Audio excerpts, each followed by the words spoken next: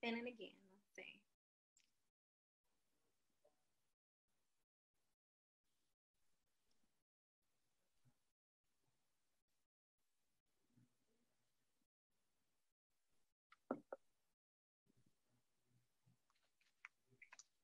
All right. Let's make sure we are in. This part is always the fun part of the day to make sure that the live is working and we are on. Um, I want to thank you all for joining us again. Another great Money Monday. Um, as we've talked over the last few weeks and so forth, this issue is an issue that I think a lot of our business owners are going to run into. Um, but more so recently, one of our past speakers, um, the owner of Ivy's Tea, was having an issue of someone coming in and kind of stealing her brand and really kind of doing probably speeding up the process and some of her vision and so forth. And she was in a great situation because she had done the work, she had done the prep, so she could defend her intellectual property.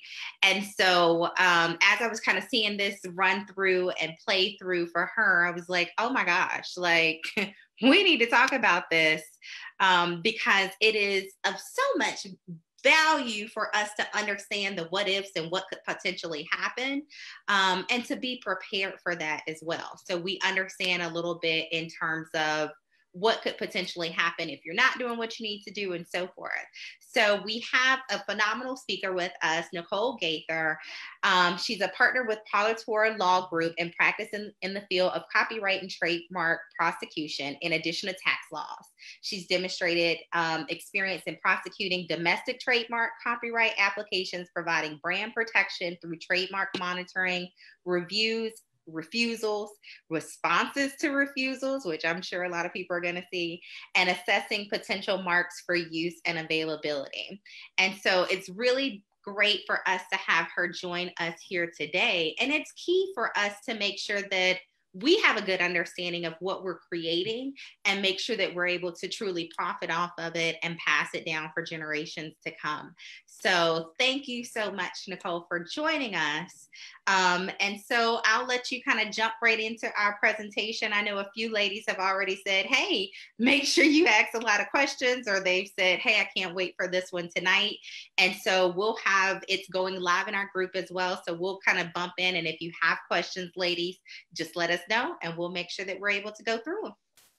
Yeah, definitely. Thank you, Rosalind. Uh, as Rosalind said, I'm Nicole Gaither. I'm a partner with the Parlatore Law Group. Uh, it's a virtual law firm. We're based out of New York, but I'm actually a Louisiana admitted attorney, but I live in Maryland. So that is the benefit of working for a virtual law firm that I can work from anywhere in the world for this law firm and still be able to do the work that I enjoy. So I focus my practice mainly on copyright and trademark law, um, of course, doing prosecution stuff like registrations, also enforcement. So, you know, making sure that my clients can protect their rights that they have in their intellectual property and monitoring. So we also look to see if there are any uses that we need to be aware of and a couple other things beyond that. So we also are focusing on licensing opportunities, franchising, collaborations, those types of things. Um, so I am a part of the business law section. So I do also try to make sure I get an understanding of my client's business because the intellectual property part is a piece of it. Um, but ultimately, I also need to have an understanding of like what you're you're doing now, what your goals are, because if you don't have a good business structure or foundation to work from, then me going forward with this intellectual property protection is going to be useless if we don't have something that's going to be using this these assets that we're working so hard to protect. So I was going to go over this presentation, which I'm hoping is not too long. I just wanted to kind of hit on some high points. So of course, I'm probably going to skip through some of the, the, the slides that I made, but you know, I just kind of wanted to get everybody to understand how important legal protections are in your business. And they kind of start from the front end um, of just making sure that you have certain things in place for your business to be successful. So let me make sure I can share my screen.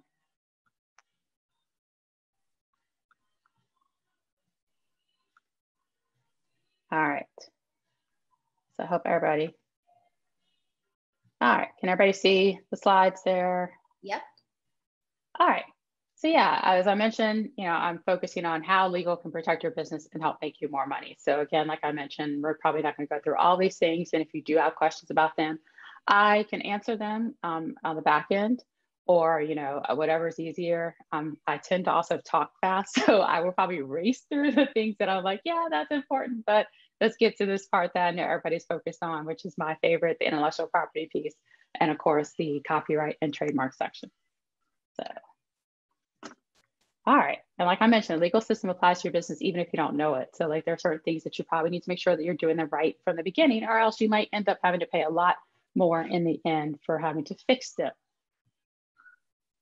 and like I mentioned today, like I want to talk about business entities very briefly, you know, certain contracts that you probably should have in your business very briefly. And again, our main focus is going to be on intellectual property. And of course, I always have to give a disclaimer as to what we're talking about because I am a lawyer. However, I am not your lawyer. So that means that I cannot answer your specific question until you have engaged me as your attorney. Um, and the things that I'm giving in this presentation are basically to provide information. They're not legal advice. And if you have a legal question, you should retain a lawyer familiar with that area of law that you know you need help with. Um, but I, you know, if you do want to have ask questions and if you want to engage me, then my information is right here.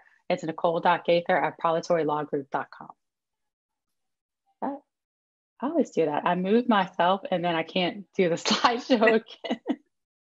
so I need to to this. Yes, that helps. All right. So as I mentioned, some of the basics when you're dealing with a business, you know, depending on when you're just getting started or you're kind of, you started selling, but you haven't gone through all the formalities.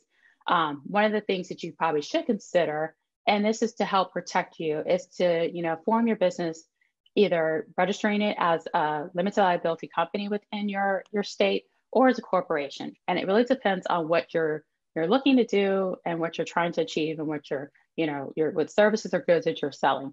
So that's something you should probably talk to your tax accountant about because it's also going to affect your tax situation and then also an attorney to make sure that you're forming the right business structure.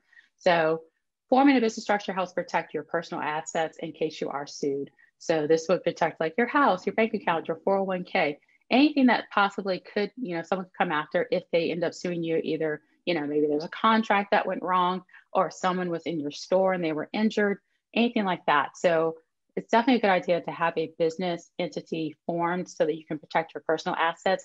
So that, again, if the, anything like that should happen, the only thing that someone would be able to take would be from your business assets. Also, contracts are definitely a good thing to have in your business, um, of course. And I'd actually even say that's probably the first place you should start. Even if you haven't yet formed a business entity, you should actually have contracts in place in your business, um, such as like client agreements so that everyone knows and they're on the same page regarding like what the terms of the agreement are, who's giving what, who's paying what, when you're getting paid, how you need to terminate the agreement if someone doesn't follow what they're supposed to be doing, what happens if there is a breach of the agreement, all these things. So you know, definitely having a client agreement in place is a good idea. Also looking at some other, and we're going to kind of go through. So like I'm going to skip through. Yeah. So like I kind of looked at some of the contracts that you might need for your small business, especially also if you're working only on online business. So some of the high points, like I mentioned, the client customer agreement. Um, if you're doing like a partnership or collaboration with another business, you definitely want to have something in place so that everybody knows what they're supposed to be bringing to the table and what they're leaving with and how you're splitting those um, profits, like what you're going to do with this thing that you're creating, if that's what you're doing. Um, also having employment agreements in place with the employees that you have on staff, um, non-disclosure agreements with any, you know, to protect anything that you have that is, you know, needs to be kept secret or kept confidential in your business. You want to make sure that if you're dealing with independent contractors or even employees or vendors who might need to be, you know, in the know of like some of the things that you do in your business, then you want to have non-disclosure agreements in place so that you can put some protections in place in case, you know, someone does violate one of those, and so that you have recourse to um, to protect you um, non-competes, also liability waivers. Like let's say you might be having an event somewhere, you want to make sure that you're, well, I know it's, it's COVID, but in case we actually are able to do things in person ever again, you might want to make sure that you actually have liability waivers in place to protect you in case you're having an event, somebody gets hurt, someone falls, or anything like that. Also, if you're running an online business, website agreements are extremely important to have to protect you. You want to have things like terms of use so that people who are going to your website understand exactly how they're supposed to act when they're there. Um, also having any kind of uh, privacy policy if you're collecting information from people who are visiting your websites and some states require that you actually have privacy policies and that you have them spelled, you know, certain things spelled out in them. Like California is one of these states where they're very specific about their privacy policy uh, regulations. So just a few things that you all, you know, probably should be aware of. Make sure that you have um, in place. And of course, like I said, I was going to race through some of that things because I wanted to focus on the bread and butter, uh, the part that I actually love and kind of nerd out on your intellectual property. And like if you do have questions about contracts or business formations, definitely um, you know, put them in the chat or however you all are doing it, and we can talk about it toward the end. So just keep them in mind, you know, write them down, put them in there, and we'll discuss them. All right, so intellectual property for your business. And there are four main types of intellectual property, and this is focused on the United States. Um, other countries have their own versions. Pr primarily, they're the same as like in all countries, but some of them are called different things, and then some have different types of protection. So in the United States, we focus on these four types, patents, trade secrets, trademarks, and copyrights. Um, so I'm going to go through each one individually so you can kind of make sure that you know the basics and the difference between each one of them. Because I know a lot of people get confused and they think like, oh, I need to patent my business name. And it's like, no, that's really trademark law. And then, you know, I need to copyright this. And that might actually also fall under trademark. It might even be a patent. So I feel like it's very important that we all kind of understand what the different types of intellectual property are so that we know where we are when we're talking about them individually. So as I mentioned, patents, these protect inventions. So like this is like the light bulb or your MP3 player. You know, these are things that, you know, are usually think of mechanical things like your iPhone, your laptop, probably at some point had a patent on it. And sometimes they still have a patent on it. There's some that something that's been improved on it, so that might have a patent. So you know patents actually must be useful they have to you know solve a problem that's in the you know the marketplace or in the world um, they must be novel or new and also non-obvious so like if you decide well i like my macbook but i wish it came in pink and i want a patent on a pink macbook that's a little too obvious and besides there's probably i think there's already a pink macbook air so yeah it's not going to be anything like changing a color or shape. It's going to be something that's going to add something that no one else really thought of and to not think that was too obvious. Like this, you know, should be something that needs to be added to this invention to make it better. I am not a patent attorney. Um, patent attorneys have to take a separate bar exam to in order to prosecute and file patent applications. And generally those applications read like, um, yeah, they, they're pretty complex. And most patent attorneys do have a science background. So it's almost required for that. And for you to take the patent bar, you have to have that science background as well. So I do not have a science background. I have an accounting background. I am not going back to school to take that exam. Um, I think about it and then I'm like, yeah, no, I'm good. Mm-hmm. So if you're dealing with something that might possibly be protected by a patent, definitely, you know, look on. So on the USPTO website, there are actually a list of registered patent attorneys that are available. So I would highly, you know, you know, I would recommend that you consult with that list because, you know, you might want to, you see these commercials for like, uh, is it Invent Tech or whoever it is? It's like the little invention place and they'll file a patent application for you. They're probably not filing like the patent application you might need where it's going to get you that full level of protection. They're probably filing what's called a provisional, which is just kind of the starting point. So I would definitely, if you feel like you have something that can be protected by a patent, find a patent attorney. And if you need, you know, some recommendations, suggestions, I have a list of them because I do have to refer some of my clients to them because like I said, I do not do patents. And I sometimes don't even know what might not be, you know, might, might be protected by patents. So I don't want to take the risk of telling somebody that it's not. I'd rather they talk to a professional about it. Trade secrets. These are things that, you know, are kept, you know, these are the confidential things in your business. So these are things that if they were to get out, that they would, you know, reduce your competitive edge. So these are things that you want to keep secret. They should be on a need to know basis. These are things like recipes or like I mentioned here, like secret formulas for making beverages. Um, they can be like your client list, vendor list.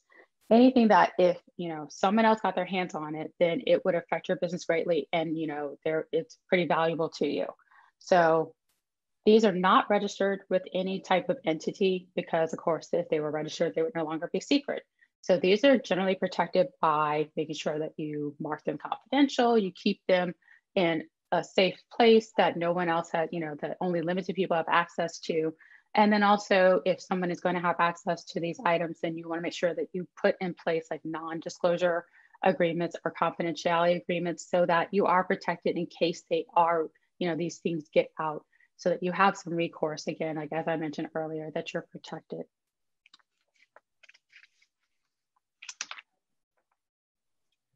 All right, now we're getting closer to my favorite areas, copyrights. And this is kind of the things where we just want to make sure we understand the difference. So I try to make it easy to explain what a copyright is versus a trademark, a patent. Um, copyrights protect like original artistic and literary works. So like think creative things, like creative content. So like plays, books, music, artwork, even like your website can be protected by copyright. Photographs, videos. If you have like a a digital product or e-course that you're offering that can be protected by copyright so those are you know just keep these things in mind so this is things that, that have content so like creative things artistic have literary content all those things are generally protected by copyrights so they have to have just it doesn't even have to be like unique it just has to have some minimum level of creativity for it to be protected and also be put in a form where it's tangible and other people can see it so I kind of give the example of like, you know, if you write a poem on a napkin, then it's protected by copyright and copyright protection is automatic. Once you have that creative um, piece or spark that you have and you write it down, then it's protected.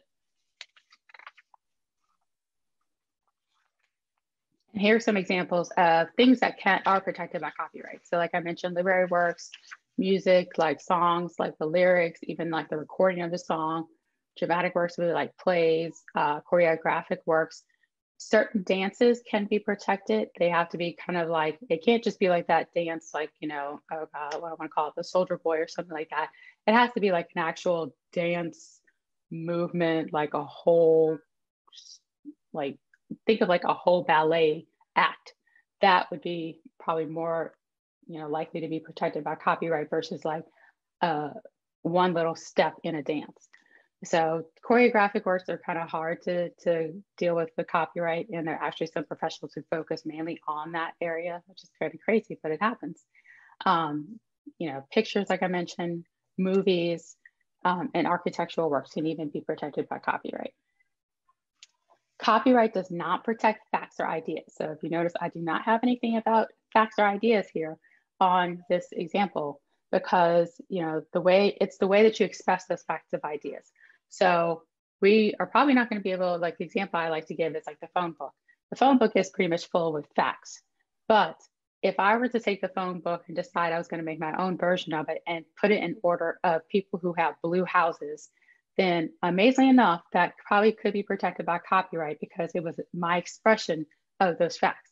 Now, how useful is that going to be for most people? Probably not, because I mean, how many of us know who lives in a blue house? I'm not sure, but that's just kind of give you an example of like why you know ideas and facts are not protected but it's your expression of those ideas and facts that can be protected so like a recipe cannot you know it's generally not protected by copyright because it's just a list of ingredients and it gives a description um, but you know keeping in mind separate from like a trade secret like if you had you know like i mentioned like a recipe or a you know beverage or something in your business that was like the main bread and butter for you and you didn't want anybody to get it, you know, have it out there, then that would be protected by trade secret. But like a listing of a recipe where you list the different ingredients and the instructions, that's not protected by copyright. Now, if I were to put a whole group of recipes in a cookbook and included like some pictures and some like stories about it, that can be protected by copyright. And now, like I mentioned, there's no, oh, yeah, sorry. A number or a logo be, um, can you copyright a number or a logo? I'm guessing maybe her business name might be, I don't know, 245 or something like that. Could that be something that she could copyright? So the number probably would not be protected by copyright unless it was in some kind of, so like if it was like some kind of graphic, just, you know, design or like some unique way or creative way that it was designed. So some logos can be protected by copyright along with trademark law. So logos generally fall under trademark law, but if they have some kind of artistic or graphic element to them, they can be protected by copyright. Oh, I got um, it. Again, hashtag. oh, oh, hashtag. Oh my gosh. So we're going to talk about hashtags tonight too. hashtags are a little tricky animal. They can be protected by trademark law um, if you are using them in such a way that they're identifying a source of your goods and services. So they can't really be used as like a hashtag that you're putting like at the bottom of your social media post. They have to actually be used as like hashtag brand of this. So hashtags can be protected by trademarks, but they have to be done in a certain way. So it can't be like, because hashtags are technically metadata. So keep that in mind. So if you're using it as like a hashtag on your Instagram post, then it's probably not going to be, you know, protected by trademark law.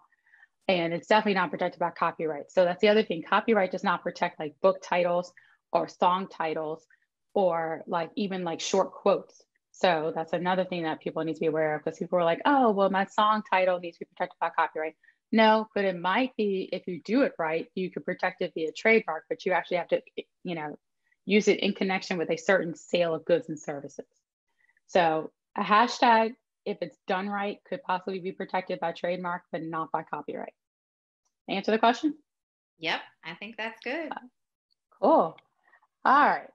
Now, if you find that someone is using your content without your permission, then it's more than likely infringement. Um, so you know, keep that in mind when you're using other people's content and when somebody's using your content. If they didn't have the right to use it, then it's probably they're infringing. And we're going to go into that a little bit later through the presentation.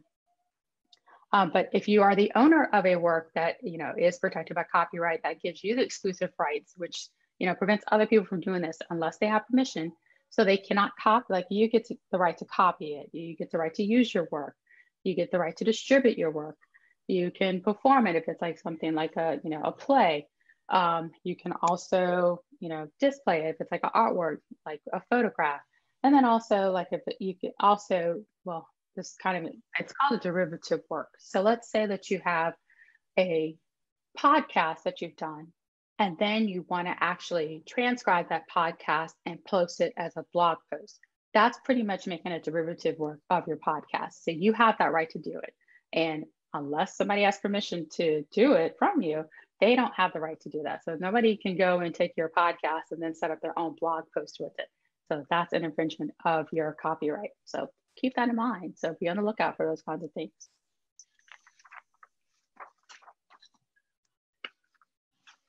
And the biggest thing is with copyright, registration is not required for you to get automatic protection. However, there are additional benefits that come from registration of your copyright and it's the, it's pretty cheap and it's not a very complex application process. The application is available electronically on the copyright.gov website.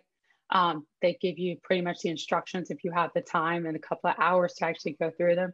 But they're individual applications for the different types of um, copyright that, you know, the content. So like there's a separate application for music works, there's a separate one for like artwork, there's a separate one for like literary works.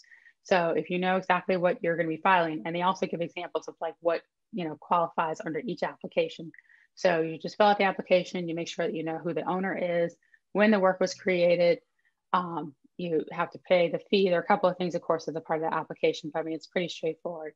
Um, the fee is either $45 or $65, depending on what you're filing, um, what you're trying to apply for. And then you also just have to send in a copy, usually electronically, of what you're trying to protect.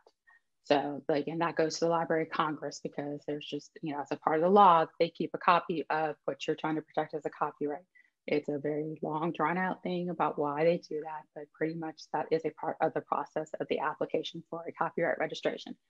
And so, as I mentioned, copyright protection is automatic, which means that as soon as you put something creative with an ounce of creativity to a, you know, fixed format, like as you know, some people say is put you put pen to paper, you have something that's protected by copyright. Registration allows you to, you know, prove that you own that, that copyright. Um, you also get the benefit of being able to sue someone if you actually, if someone infringes on your copyright. So with, with that comes like additional benefits of being able to get damages that you don't have to like, you know, find out, well, how much did this person make from it? How much did I lose? You can get statutory damages that are set by the law. And you also might possibly get your attorney's fees paid for. So there's some, you know, there are additional benefits also, like let's say you are selling a good um, that is protected by copyright. Like let's say you have like t-shirts that have like artwork on it or anything like jewelry. And if you register your copyright registration with the US Custom and Border Patrol or Border Protection now, they will actually be on the lookout for any infringing works that might, you know, accomplish your copyright. Um, so that's also some a benefit as well as having copyright registration. So, um, and we can talk more about that later if you all have questions, but I kind of wanted to hit on that point because I mean, registration again, not required. Yeah. Kim, sorry. Kimberly asks, when you publish a book, is it automatically copyrighted? When you publish a book, as long as it's like in a format that someone else can see, it is automatically protected by copyright. Now, again, registration is different. So your publication of that book does not mean it's registered. That is only done through filing an application through the US Copyright Office and on their website. Good stuff. Yeah. So, yeah, any questions about registration? Because I don't want to, I could bore y'all with all the fun details of it, but it's a pretty straightforward process. It's probably one of the easiest things that you could do on your own. Um, you know, I'm one of the people who's just like, I could do it for you, but you could do it yourself because it's pretty straightforward. But there are some nuances if you don't do it right. But you know, if you don't do it right, you get another stab at it. So like you can file another application, but it's just, you know, you might be out that 45 or $65. And I also want to mention like if you're if someone is infringing on your work, like let's say someone actually and you know you notice somebody has been like reposting your social media posts if you have registered those images like if you start to notice that someone is infringing and again we're going to talk about this a little bit later then i would suggest if you you know know that that's going on and those are things that they're valuable to you and they're your business then if something is valuable to your business then i would consider like registering it so that you have that right because a cease and desist letter stands a lot harder and you know means a lot more when you have a registration to back it up. So you know these are things just to keep in mind as well.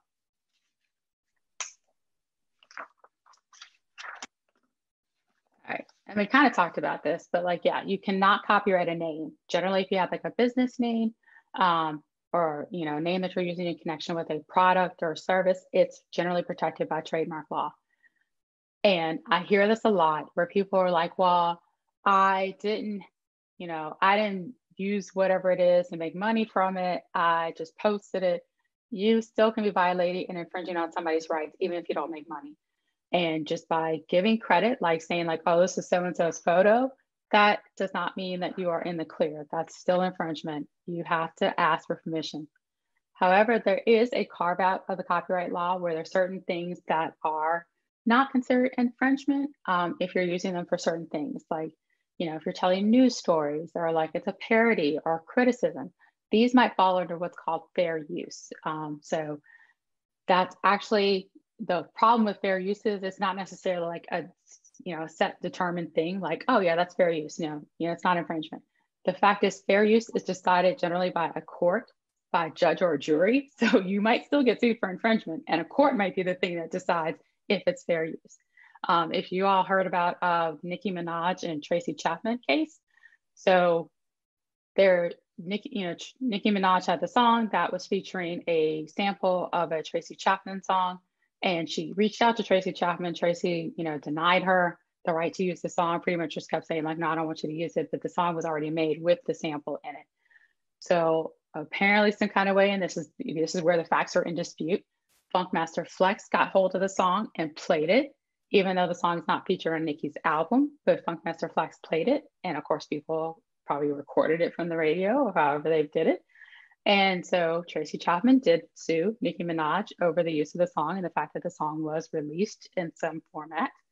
And the court, uh, I think it was last week, just came down to say that the use of that sample um, where Nicki used the sample and it wasn't meant to be distributed and she didn't put it on her album, even though Funkmaster Flex got it, that was considered fair use because you cannot limit, you know, like if someone's being creative and they're using a sample of a song, you can't consider that to be infringement. It, it's a kind of complex, but like pretty much the court determined that it was fair use. And so, sorry, I have somebody calling me right now. um, the court determined that it was fair use because it was, you know, so it's still, it wasn't determined to be infringement. Sorry, I apologize. this person is trying to reach me, but they've called multiple times already. So as I was trying to say before I was so interrupted, these things happen, I guess. Um, it's it was considered fair use, so it was not considered infringement because she had the right to use it to see if it was something that she was going to release in her album. So that's kind of an example of where fair use is. And it's usually like determined if it's related to certain areas of, you know, use. So again, a court has to be the thing that decides whether or not it's fair use. And this is the thing that trips a lot of people up. Just because it's online does not mean it's in the public domain. I've heard this from people who are like, well, I found it online. I found it on Google. So that's public domain. That is not the public domain. The public domain is actually an area where if um, so like these are things that are no longer protected by copyright law. So like either the copyright has expired, so like they are no longer are protected under the law of copyright, or they were explicitly placed in the public domain where somebody was like, I created this, uh, but I am relinquishing my copyright protection rights. So it's free for anyone to use. Those are things that are in the public domain. And you can actually do a search to see where things are in the public domain. So the rule of thumb is if anything was created like before 1924, it's probably no longer protected by copyright. So it's free to use with some, you know, you probably want to make sure and check that it is free to use, but that's what the public domain is. And I also want to give an example of like what a proper copyright notice was. It is, and like you, again, you don't even need to have registration in order to give a notice of copyright because again, copyright protection is automatic. So this is using that circle C the year that you published it or put it out, and then listing either you and your individual right or your company as the owner of the copyright. And you can also add in like all rights reserved, or I mean, the all rights reserved is not even necessary, but you know, it usually helps because that again is reserving all those rights that come with the copyright. So that's your right to copy, your right to display, to perform, all those rights that you get with copyright. Now I wanna make sure, like I'm going through my notes to make sure I have not forgotten anything. But the main thing is with copyright is if you see someone else's work and you want to use it, ask for permission before you try to use it. Um, you know, because if you don't have permission, it's pretty much an infringing use, which means you could possibly be sued and pay damages for using something without someone's permission. Um, if you're like on social media and you see like someone has posted something on Instagram or Twitter or Facebook or Pinterest or TikTok, you know, without permission, it is actually infringement for you to repost someone else's work. So even though you have that option, like within the, the platform to repost, you still should contact that person and ask them permission to be able to repost. And they, you know, if you probably send them a direct message or whatever, or like even hit in the comment, like, hey, do you mind if I share this? And most people are like, they like the exposure. So they usually grant you the permission. I, I mean, I've I always, when I want to reshare or repost from somebody, I always contact them and wait for them to give me permission to repost it. So just keep, you know, those are things just to keep in mind because again, you could be sued. And we're seeing that, you know, unfortunately, the law has not caught up to the modern day. So, like, we're still trying to get the copyright law into the 21st century.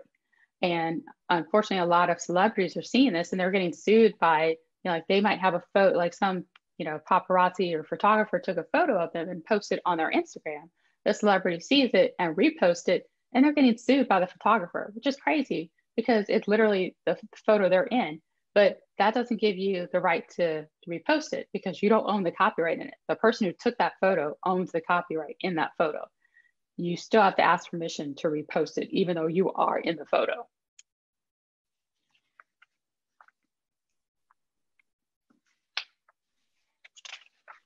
and trademarks. So does anybody have any questions about copyright before we kind of move into a new area? I just want to make sure. A lot of people were shocked about that, about the picture of themselves um, and being sued about that. We got a couple of wows from that. I mean, that's definitely something unexpected that I'm sure most of us just didn't know. Oh yeah, like I can let's see, Gigi Hadid has been sued a couple of times. Um, I wanted to maybe Taylor Swift. J Lo was recently sued, like last year, I think. LeBron James was sued earlier this year and I'm going to get his name wrong. He plays for the Houston Texans. Deshaun Watson, I think he's a football player. He just got sued by some photographer reposting like three of his own photos. So yeah, again, if you even if you're in the photo, that does not mean you own it. like you have to ask permission. So the person who owns that photo, who owns the copyright, is more than likely, you know, the author. And sometimes they'll grant you permission, sometimes they, they won't. Like I would think in that case, if it's a celebrity and the celebrity is like, hey, you mind if I repost the photo?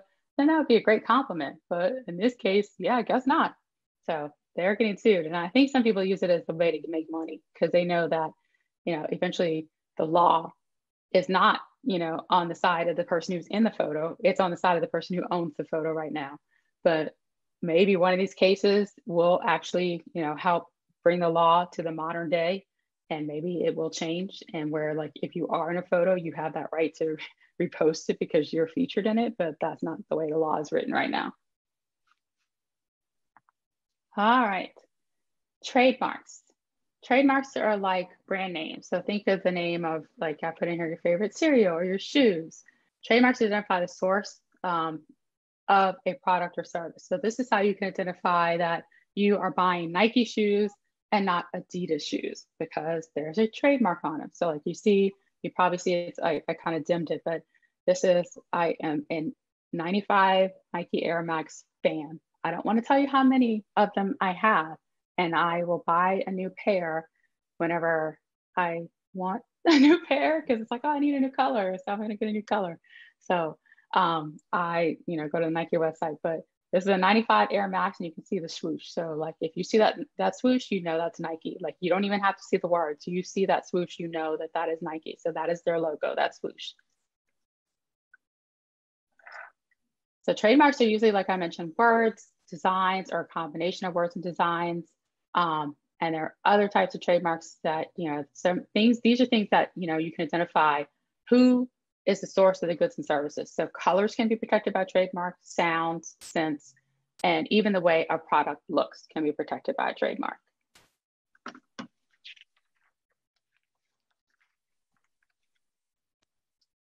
And wait, hold on, I'm gonna go back because there was something I did want to say about this. So like I mentioned, trademarks are a way that we identify a product or service. So think of them as marks of trade. So trade being like, you know, related to sales, marketing, so trademarks are marks of trade. So they are things that are, you know, con- connected with things that are being sold, like goods and services. So that's probably the easiest way to, to tell the difference between like what a trademark is, a copyright or patent. Like, um, trying to think of some other things to kind of give you all an example before I go into all the deep dive stuff. I think that's probably it on that. I just want to make sure I mentioned that. So like we can kind of tell the difference between what a trademark, copyright, patents, and trade secrets are. And these are examples of traditional trademarks. So like you usually will see like words. So like KFC has a registered trademark for the KFC. So like that's the name of their business now. It's KFC. They used to be Kentucky Fried Chicken, but apparently now they're KFC. Um, and I think from what I understand, they had to change to KFC because the state of Kentucky actually filed a trademark for Kentucky um, and I'm probably going to get that story a little wrong. But unfortunately, because the state of Kentucky filed for trademark for Kentucky, they wanted to get a licensing fee from Kentucky Fried Chicken. And Kentucky Fried Chicken was like, yeah, we're good on that. We're just going to be KFC from now on. So that is why they are now KFC. Um, I'm sure some of you all might be familiar with the Starbucks logo, um, but here it is, like one of the probably more familiar things that we see from the cups. And then also the Apple slogan, think different. So you know, words can be protected, logos can be protected, slogans, taglines, any way for your customers to be able to identify you from other people in the marketplace. And some examples of non-traditional trademarks, as I mentioned, colors can be protected by trademarks. So like Tiffany blue is protected by a trademark. So like that's a robin egg blue. Um, scents like Play-Doh and I was trying to get some other colors. Like the, the red soles of Louboutin shoes are protected by trademark. So that's why you don't see any other shoes, like high heel shoes with red soles, because that is a Louis, Christian Louboutin registered trademark. And they will come after anyone who tries to get a red sole shoe. Uh, the brown that UPS uses for their trucks, so that's also protected by a registered trademark. Um, the smell of Play-Doh is protected by a registered trademark. It's like a cherry vanilla scent, which is crazy. Um, so also, I did not know this and I had to ask somebody, but I guess maybe I have never been in a Verizon store, but the musk scent that is in a Verizon store is protected by a trademark, which is wild to me because I'm like, I don't even associate that, but it is protected. Now you guys want to go to Verizon just to like. All right, it's like I want to walk into a Verizon store. Like I got one around the corner, so I might go in there just be like, so I can smell this this musk musk smell. But I'm sure it might not be musky. it might be musty. um, can be protected by trademarks, like the MGM lion roar that you hear, you know, in movies. That's protected by a trademark, a registered trademark. Pitbull has actually gotten a registered trademark for that uh, oh God, I'm gonna get it wrong. It's like that, hey, yo, whatever. But I'm not using it in connection with a good service, so I can say it. But yeah, so that's protected by a registered trademark. The NBC chimes, the Netflix the dom is protected. And then also, I know some of y'all might remember AOL, so you got mail, that sound is protected by a registered trademark. Trade dress can protect things like how they appear. So that it can protect packaging, um, it can protect like like an example is like a store, like how a store or a restaurant or a location looks. So like the colors that are used, the, you know, the different form, like the, I guess, you know, how it's laid out is, you know, can be protected by trademark under trade dress. So the shape of a Coca-Cola bottle, like how it has like those ridges and like that little almost hourglass shape is protected by a registered trademark. Um, the red seal on the, you know, the red seal wax on the Maker's Mark bottle is protected by a registered trademark. Shapes and colors of IHOP restaurants, which I did not know this, they're protected by a registered trademark. The shape of goldfish crackers and the shape of Hershey Kisses are protected by registered trademarks. And one of the things that is important, like if you're just starting out and you come up with a name or a logo or a slogan, like generally I tell people if you're going to be, you know, starting a business, the first thing that you want to do to protect is the name of your business or whatever you're using to sell your goods and services. So, you know, if you are using your business name or maybe you're using like a doing business as, but this is like the way that people are identifying you. So like if they go on social media or they do a search on Google and they, you know, search for a name and they're able to find your business, and that's probably how you want to be identified. So that would be considered your trademark. And trademark rights come from use. So once you start selling goods and services, you have a trademark. Now, you have limited rights in that trademark because you don't, you're limited, you know, unfortunately, the law is you're, if you don't have it registered, you don't have exclusivity. So, like if you are, you know, using a trademark and you live in Maryland and you're selling goods and services, even if you're selling them online, you can't stop somebody, like let's say you sell candles in Maryland. You can't sell somebody in California who is selling candles and they're using the same name because you don't have a right to stop them because you don't have exclusivity over that name until you have actually filed and gotten a registration from the US Patent and Trademark Office. So those are things that you know you need to keep in mind because some people are like, oh well, I don't need to register my trademark. I've been using it, nobody else is using it, whatever.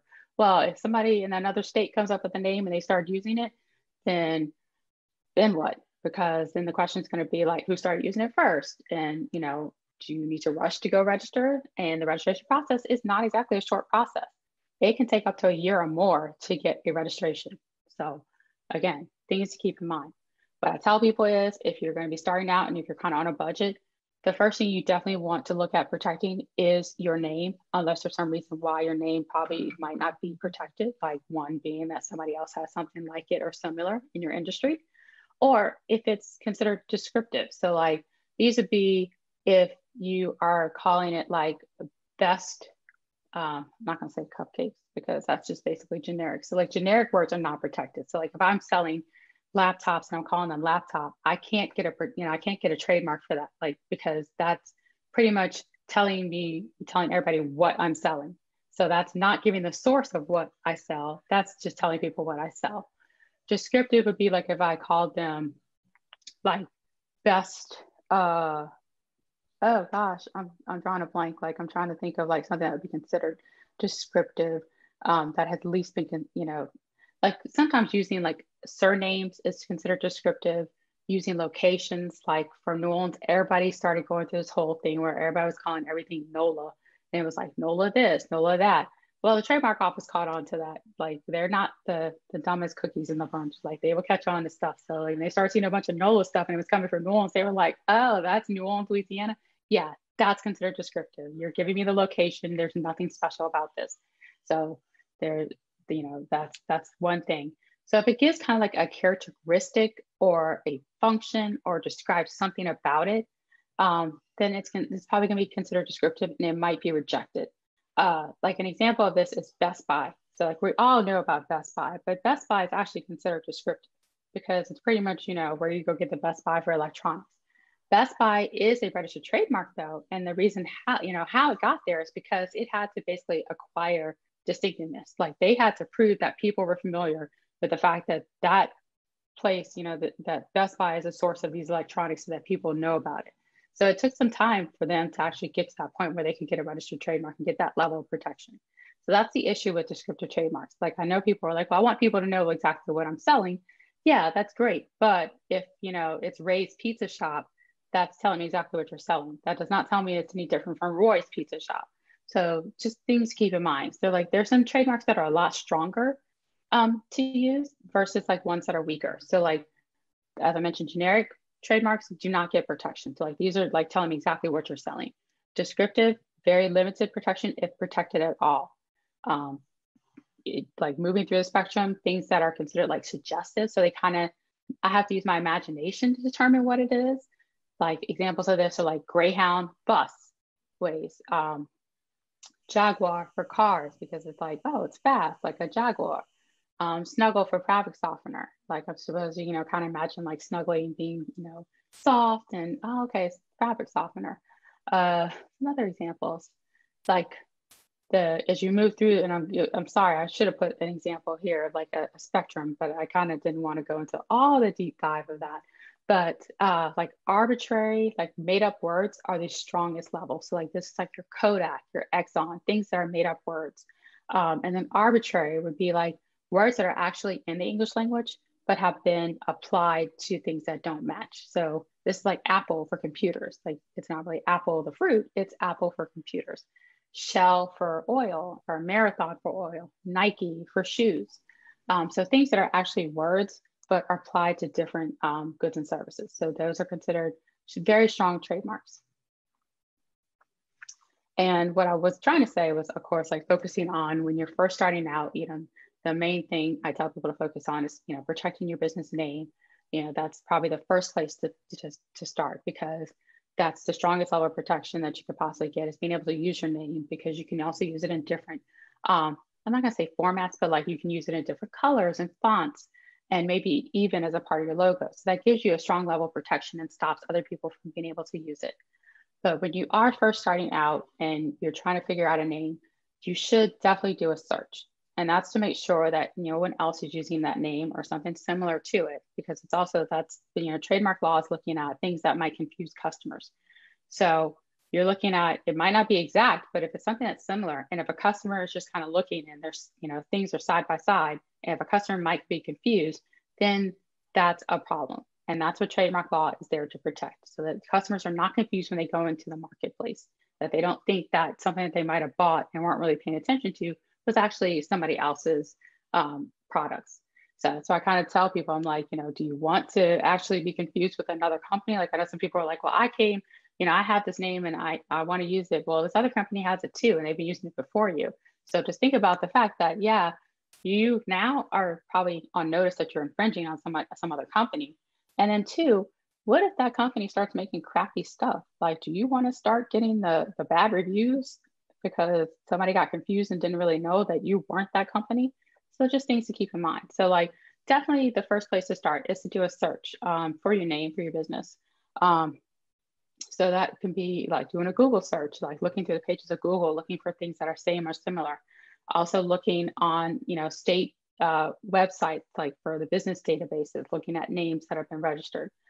Um, and generally you can start with your state to do that. Also state trademark registries, those are sometimes available. You can look at the Secretary of State website to see if anyone's registered a trademark in the state for that name.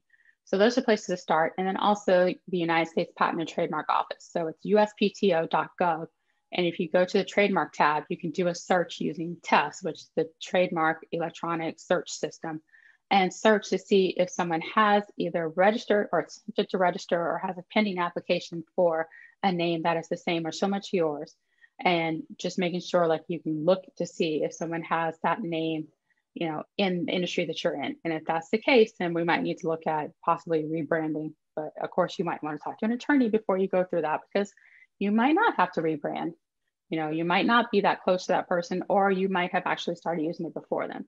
So, you know, these are just places to start, um, especially when you're first starting out in business, so that you're not spending money and you're not putting yourself as a target and ended up getting a cease and desist letter from somebody because you didn't realize that you were using somebody else's name in your business. And then, you know, rebranding is not cheap and neither are lawsuits. Any questions before I go on to all the rest of the fun stuff? Nope, nothing yet. All right. We got a lot of wows and oh my gosh. I yeah, it, it's it's an amazing area of law. It's kind of crazy. I'm gonna take a sip of water, sorry. so one of the things that I know that happens a lot, and it's kind of like, you know, the fact that we were talking about with what happened with Sinead Jones and, you know, her her trademark is dealing with copycats. And I try to tell people, I'm like, you know, it's not a matter of if, it's probably a matter of when. First of all, most businesses are now moving online. And some people are not very original and or you know what they think is being inspired by someone is actually copying someone and then also we're kind of running out of words. So like there's only so many ways that we can describe stuff. And you know, a lot of people want to stick to like being able to have things that people can spell and pronounce. So, you know, most of us don't have marketing departments that can help us come up with like, you know, that unique name that everybody's going to be like, oh, you know, the next Google or Pinterest. You know, maybe you can, you know, some people are creative and come up with some creative names, but most of us are not there yet. or so you know, sometimes we're not going to have something that, even though it might be distinctive and considered unique in our industry, it might also be something that somebody else likes and wants to copy because they're like, yeah, I didn't see it registered. So I think I'm going to use it too and see how far I can get with it. So, what are the things you can do before you get copied to kind of protect yourself from that? And then also, what can you do after you've been copied? Um, so, definitely if you have a website, put terms of service on your website. That way, you know, if somebody's copying like your content, like if you have a, a digital course or pictures on your website, videos, um, anything like that, you can actually protect those by letting you know, like if you're going to be coming to this website, like please note that I own the intellectual property on this website and that you're, you know, if you're going to be on here, that I own it and that I will, you know, use the force of the law to come after you. So, you know, of course, registration of your copyrights and your trademarks are the, you know, high, high levels of protection. But if you're not there yet, then there's some things that you can do um, that can kind of help you along. Uh, also, you know, putting a copyright notice on your website. Like if you kind of notice from my, I'm not going to, probably not going to be able to see my mouse, but at the bottom of my uh, slide, I have here the copyright notice, like the C for the circle. I have the year, and then I have my name because I am giving everyone notice that these are my slides that I put together um, and that I created them in 2020. I created them today. And then I'm C. Nicole Gaither, so that's my name. Um, so I the, I'm the owner of the copyright uh, in this work. So if someone wanted to use something from my slides or use my slides, they have to contact me to get permission to do it. And that like pretty much my copyright is automatic. So my protection is automatic here even though I don't have it registered.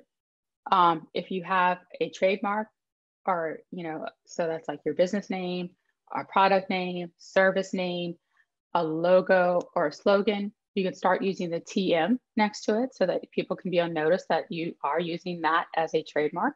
So that's another way that you can kind of, you know, deter some people from actually trying to copy you. Again, these are not completely foolproof, but in some cases they do deter some people. The ones who actually are like, yeah, oh, I see it. Okay, I'm not going to use that. Um, but you know, some people are devious, so you can't really stop everyone. So let's say you're dealing with those devious people. Um, so definitely, if you see that someone is infringing on your work, document it. Like take screenshots. If it's something that you got, like you know, a photo of or whatever, like keep the hard copy. Like document the date that you are aware of it. Um, you definitely probably want to talk to an attorney at this point because again, there are things that you can do on your own, but it's always best to actually talk to an attorney to see, you know, if if one, it is even considered infringing, and two, understanding what your rights are and what you need to do to protect yourself. Um, because there might be a case where you might think it's infringing and actually you might be the infringer. And then you've now put yourself out there to this person that you decide to contact and go off on, and then you're in the wrong. And then they're like, oh, well, you know, you owe me. So just, you know, again, these are things you probably want to talk to an attorney about, but there are also some things that, you know, just you can do on your own. So again, like document the infringement, infringement, like make a record of it, keep screenshots. Um, so you're kind of building that record so that you can have evidence.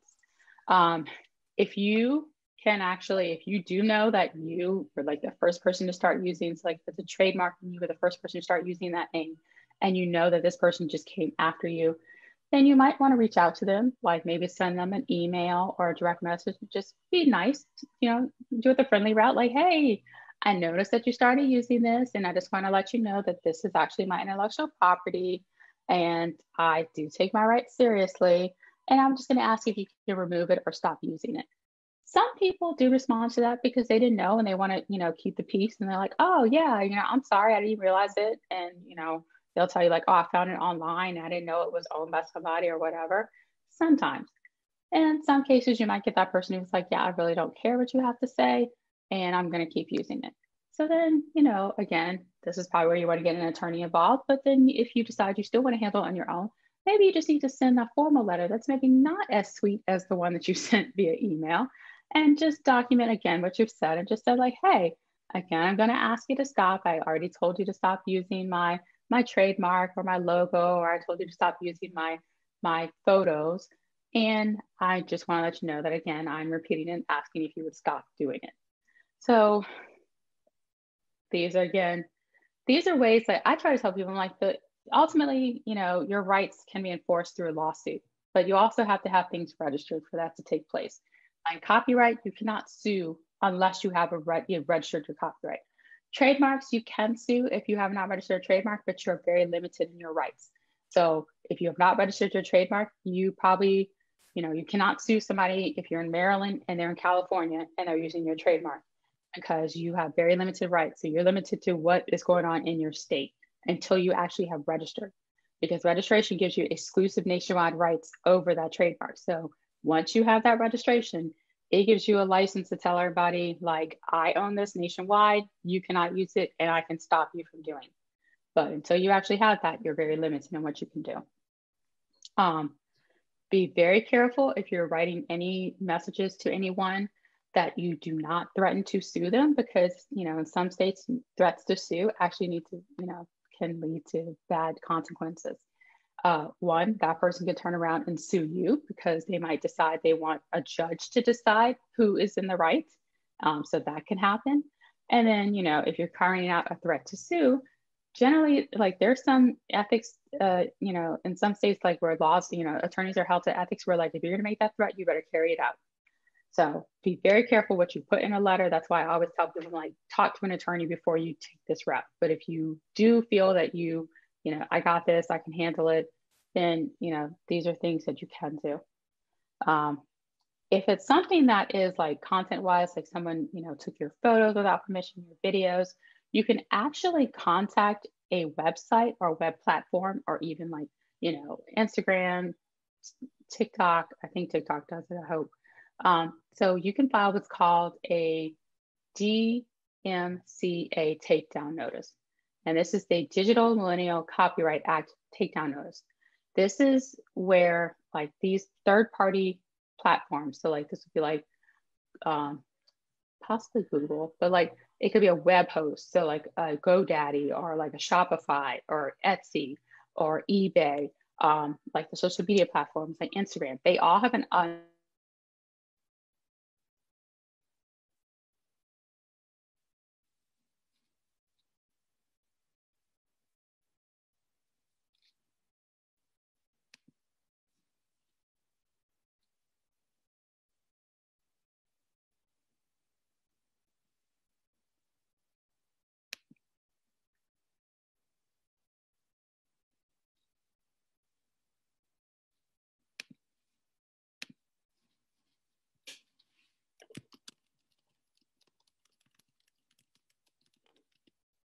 the process of doing a DMCA takedown notice um, with the platforms, and that can help you actually get those things taken down.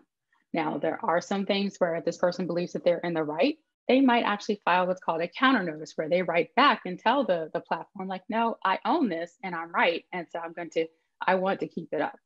So if they do write a counter notice, notice then you're now on notice to let you, you know, to tell you whether or not you want to sue. So like if you get that counter notice and you decide you want to sue, you technically have about 10 days to, you know, present that lawsuit to that person.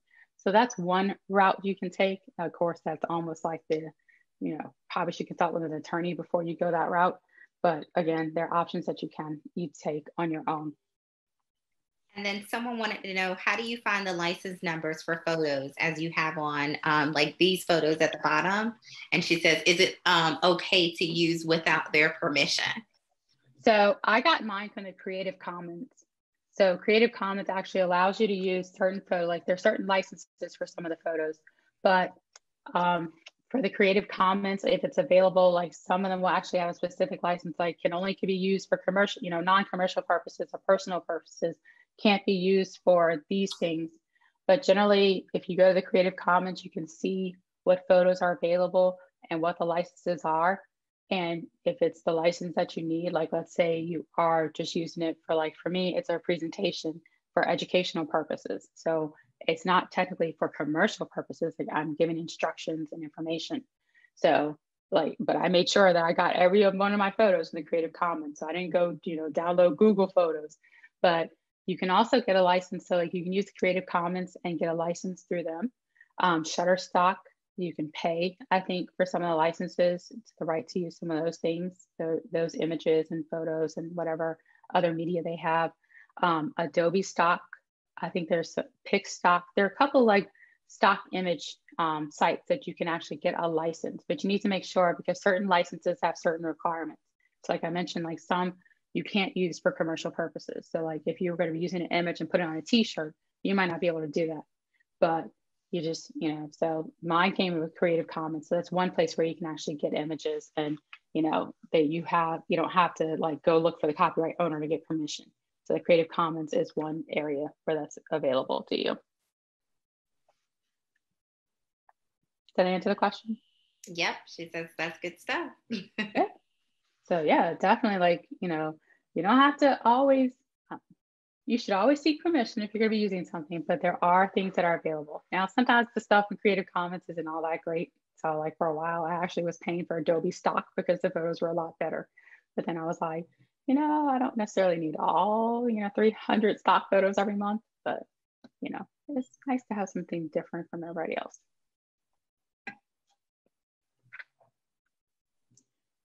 So on the flip side, what should you do if you end up getting a cease and desist letter or, or you know, you receive a DMCA takedown notice?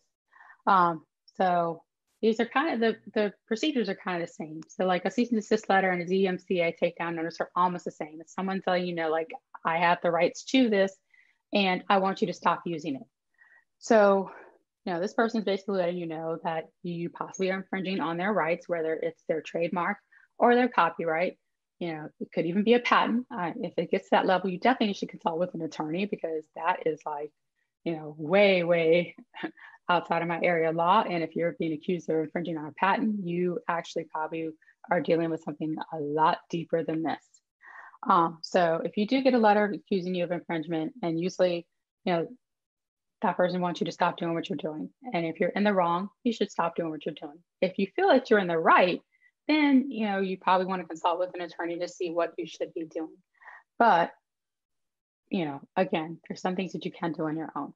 So as I mentioned, the you know DMCA notice, like a, a good example of this, and I saw this a lot with a lot of people who like right, you know, when the pandemic hit and people were making masks and they were buying fabric from like the Joann shop. And so like some of the fabric at Joann shop, like I know some people were like, oh, I bought this Disney fabric and it's got like Elsa on it. And it's, you know, they sell it, so I'm going to make masks from it. Not so fast because some of the fabric there is not licensed for you to sell commercially. Like there's actually a note on the bolt of fabric that you probably didn't see that Joann should tell you that says for personal use only or for like your immediate household and not for commercial use. So a lot of people were buying these bolts of fabric or like taking blankets and cutting them up and making masks out of stuff and like using Disney and Marvel and every other cartoon character and selling them on like Etsy and everywhere else. And then getting notices from like, you know, getting DMCA notices from like Etsy saying we've removed these images from your your your photo, I mean from your your store because we got a, you know, uh, a takedown notice and an infringement complaint. So kind of find out, most of them were using materials that they didn't have permission to use and didn't have the proper license to use. So an example I give is, of course, like either the Elsa or like, you know, I don't want to use Black Panther now just because I, I love Black Panther and I, you know, rest in peace, Chadwick. But let's say like, for example, you do have this Etsy shop and you have masks and you, you've been using like Disney and, you know, Charlie Brown or any characters because you had the material, you bought it and you made masks. Well, you get a notice from, it's usually sent via email and it's from Etsy and it says like, we received a complaint regarding some of the images in your store or some of the items that you were selling. And, you know, we, the, you know, intellectual property rights holder has, you know, noticed that this is possibly infringing and we have removed these things from your store. So the notice will actually tell you, you know, what's been removed and who told you, like, you know, you kind of see, you know, if you go further down, scroll down, like, and the only reason why I know this is because it just happened to one of my clients, unfortunately.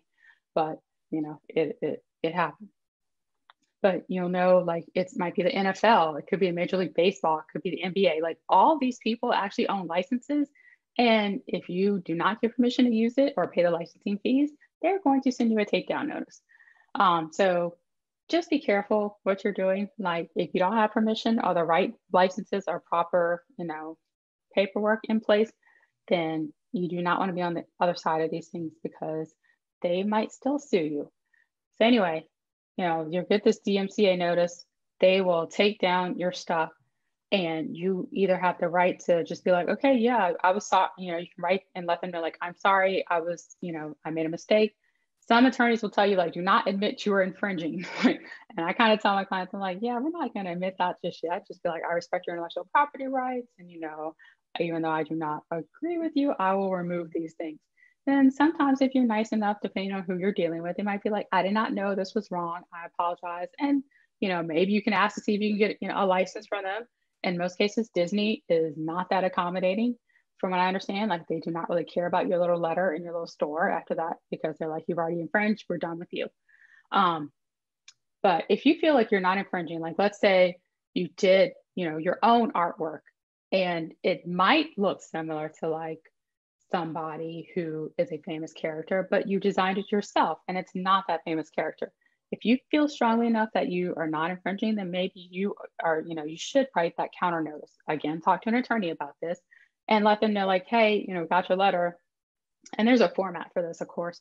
But you also just kind of letting know, like, I do not agree with your stance and I do not feel like that I'm infringing. Now, when you are signing these letters, both the takedown notice and the counter notice, you are stating under penalty of perjury of law. So, like you are stating that you are telling the truth, or else you could actually be found guilty of perjury. So, be aware of this when you are, you know, doing these things. So, that's why I tell you, like, talk to an attorney to make sure that you're not putting yourself in a position where you're going to have even bigger problems. So, you know, if you do find yourself in one of these situations, talk to an attorney. If you're going to do it on your own, be very careful what you're doing and know exactly what you are doing and that you know if you feel that you are in the right then you know make make sure like protect you know if you're in the right and you feel that you're in the right and you have you know a reason for like why you do not agree then definitely you know do something to protect yourself and write that letter so that you can you know if your store has been shut down or whatever and that's your source of income and you don't agree with it then you know take the take those steps.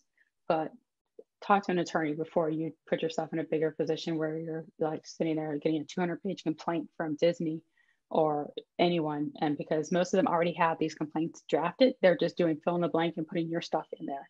And they will have it served on you or sent to you. And then you're like okay well what do i do now? Because they're going to move forward whether you show up in court or not.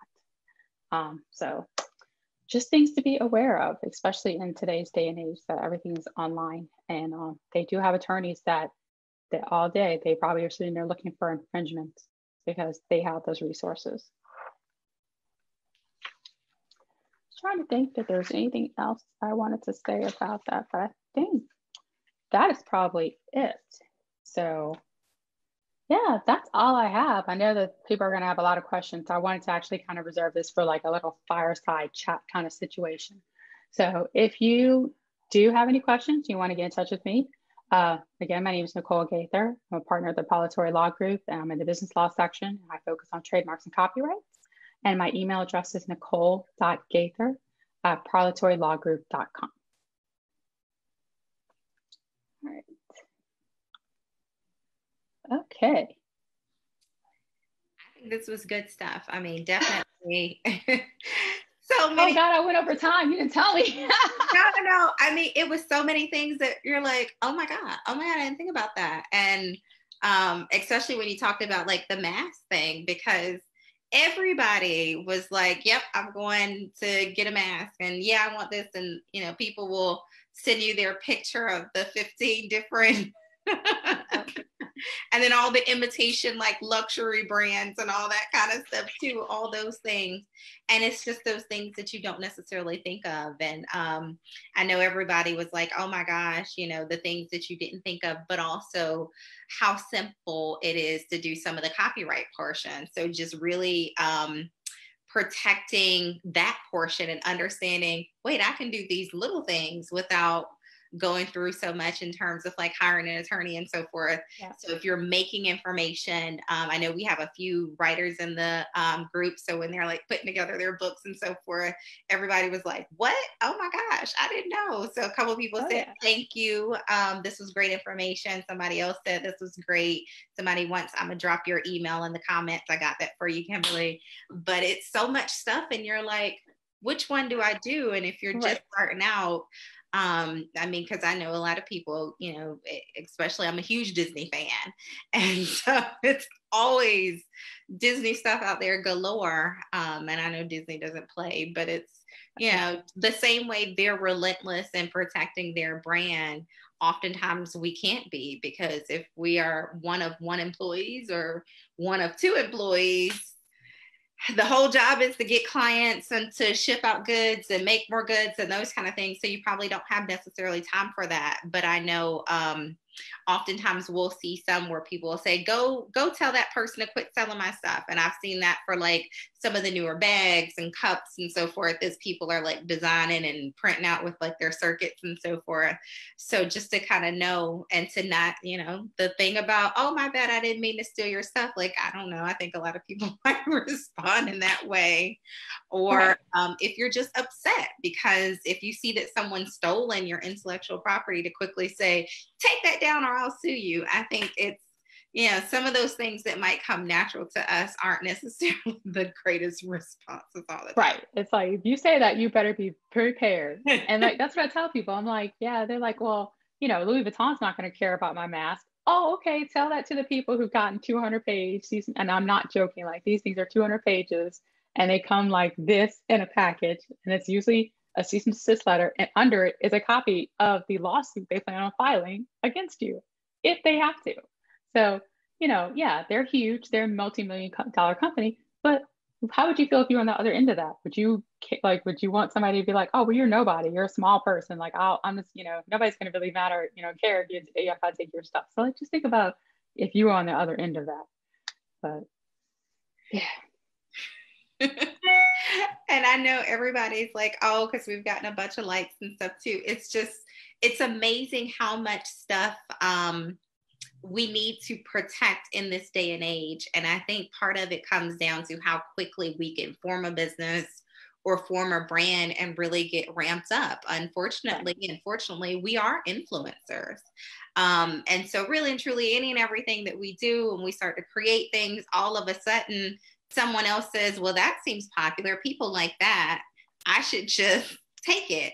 And exactly. to be able to show that, no, I've been using it longer, I've put this and this and this documentation in place those things are huge and unfortunately you know we're usually so busy creating and figuring out how we can do xyz and understanding what can be copywritten and what can be trademarked um, i think sometimes we just don't you know rosalind's best cakes might not necessarily be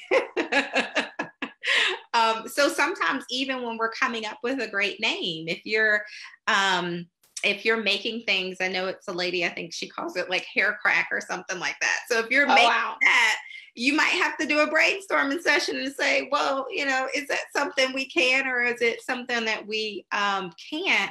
And think bigger, you know, always create with the thought that you're going to be a multi million dollar corporation and to protect it sooner rather than later.